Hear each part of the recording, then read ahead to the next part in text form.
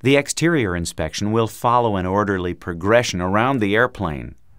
Beginning on the left side of the fuselage, check its general condition while moving back to the tail section.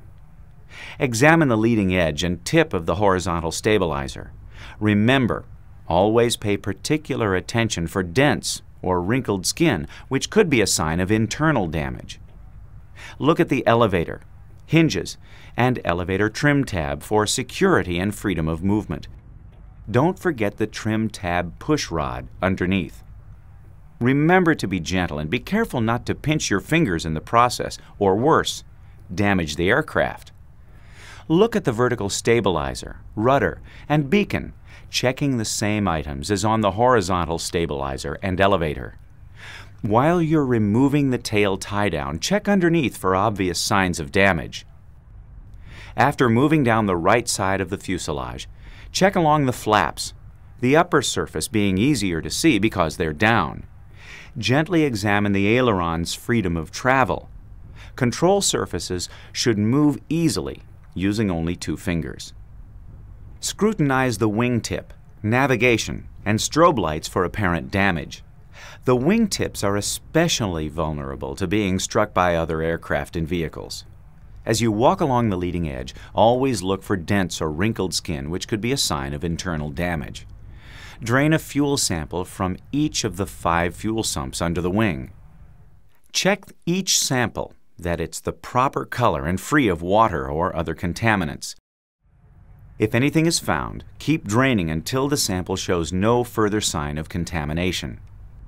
Place fuel samples into an appropriate container.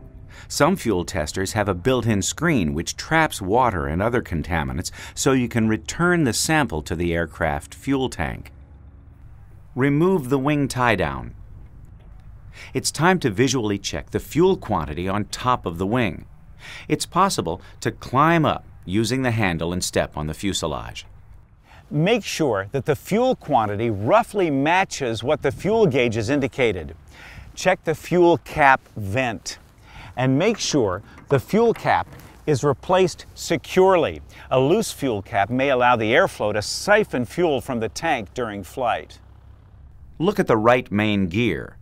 The tire and wheel halves should be in good condition, and there should be no obvious leaks from the brake lines or loose bolts anywhere here or on the entire aircraft. On the right side of the nose, drain all three sumps underneath, following the same procedure as for the wing drains. Open the oil filler door and see that the oil is at the proper level on the dipstick, usually six or more quarts for a training flight. Take care to replace the dipstick properly. The engine compartment is a favorite place for birds and bugs to build nests. Keep an eye out for this as you proceed. Up front, inspect the air inlets and check the alternator belt tension and that it's not excessively worn. The induction air filter should be clean and uncontaminated. Look at the spinner and prop for obvious damage. Run your fingers along the blades of the propeller. Nicks, or dents more than an eighth of an inch deep, should be looked at by a licensed mechanic.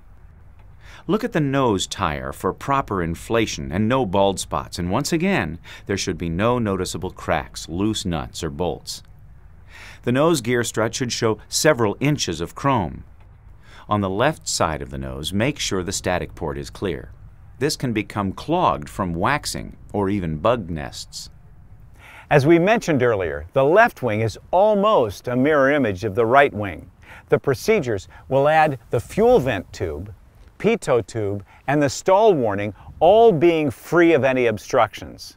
At this point, you've completed a circuit around the airplane and you're ready to proceed inside.